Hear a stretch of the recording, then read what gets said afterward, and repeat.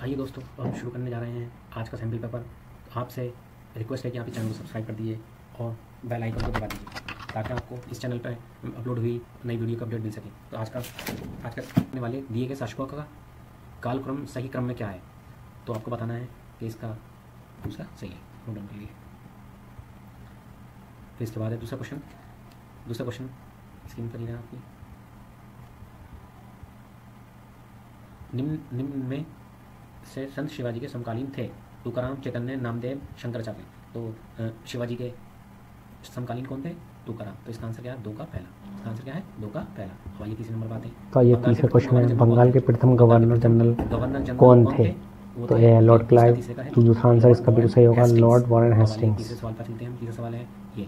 चौथा है, चरक संहिता संबंधित है। राजनीतिक चिकित्सा वास्तुकला से आंसर से तो चिकित्सा से इसका बिल्कुल आंसर सही होगा बी।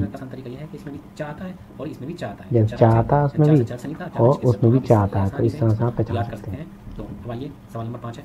सवाल नंबर पाँच। क्वेश्चन नंबर पाँच है रहा ये। ही नहीं है।